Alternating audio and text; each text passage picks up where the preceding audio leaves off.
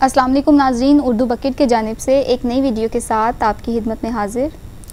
तो आज की वीडियो में मैं आपके साथ चीतों के बारे में चंद मालूम जो है वो शेयर करना चाहूँगी।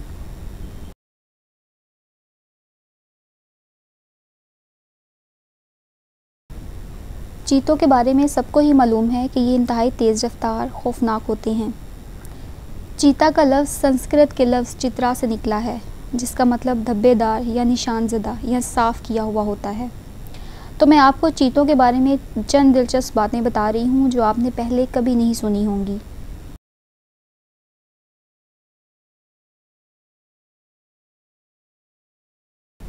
नंबर एक, पिछले बर्फ़ानी दौर में चीतों का तकरीबन मुकम्मल तौर पर ख़ात्मा हो गया था।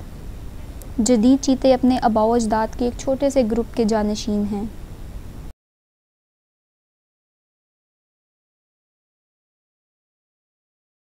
नंबर दो, ज़माना कदीम में मशरक़ी वस्ता और मिस्र के लोग चीते को पालते थे।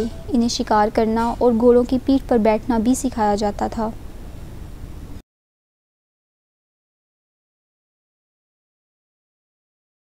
नंबर तीन, बहुत सी मादा चीतों ने ज़िंदगी पर एक बच्चे की परवरिश करके इन्हें बड़ा नहीं किया होता, लेकिन कुछ मादा बहुत अच्छे तरीके से बच्चों की परवरिश करते हैं।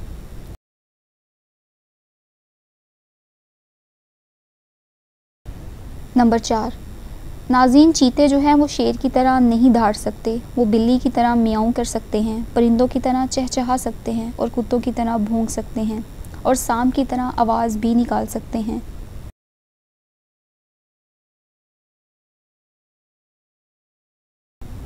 नंबर पाँच। कुछ चीतों के रंग सफ़ेद, सुरमई, सुर्खी माइल और क्रीमी भी होते हैं।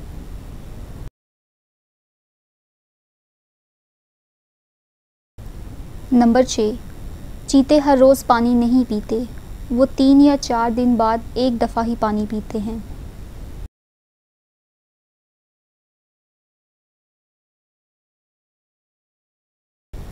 नंबर सात, दूसरे जानवरों की मुसाबकत से बचने के लिए चीते दिन के वक्त शिकार करते हैं। जब वो किसी जानवर का शिकार करते हैं तो इनके जिस्म का दर्जा हरारत 40 डिग्री सेंटीग्रेड तक पहुँच जाता है।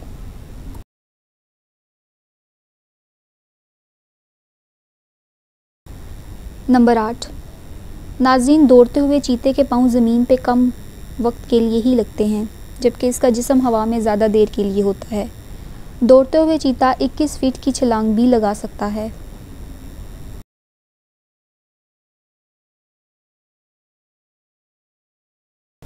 नंबर नौ। चीते काफ़ी सुस्त होते हैं, वो अपने वक्त का अठासी फ़ीसद हिस्सा जो है, वो बैठ कर गुजारते हैं।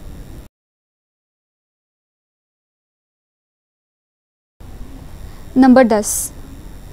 चिड़ियाघर में रहने वाले चीतों में ज़्यादा तोानाई होती है, वो अक्सर नर्वस और जहनी दबाव का शिकार रहते हैं। दुनिया भर के चिड़ियाघरों में चीतों को कुत्तों के पलों के साथ पाला जाता है, जिससे चीते ज़्यादा नर्वस नहीं होते। नाजीन, इस वक्त दुनिया भर के जंगलों में इकहत्तर सौ चीते हैं। दुनिया भर नबे फ़ीसद मकाम पर जहाँ पर कभी चीते थे, अब मौजूद नहीं हैं। उम्मीद करती हूँ आपको आज की वीडियो भी पसंद आई होगी। हमारे चैनल को लाइक और सब्सक्राइब करना ना भूलिएगा। Thanks for watching